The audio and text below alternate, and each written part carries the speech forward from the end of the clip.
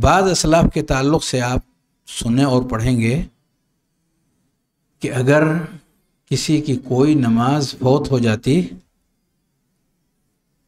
تو رو پڑتے تھے۔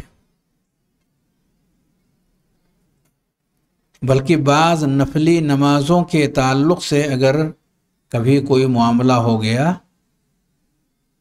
تو اپنی زندگی پچھلی زندگی پر نگاہ ڈالنے کی کوشش کرتے مسئلہ کیا ہے ہماری زندگی میں؟ کوئی نہ کوئی گناہ ضرور ہے کہ جس نے ہم کو اس عمل خیر سے ہم کو پیچھے کر دیا۔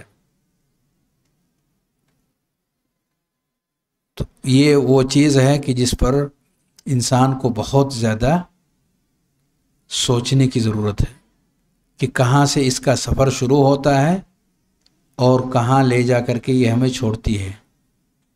یہ خطرناک چیز ہے جس سے بچنے کی ضرورت ہے اور مسلسل توبہ سچے دل سے، سچے دل سے توبہ اور استغفار کی ضرورت ہے۔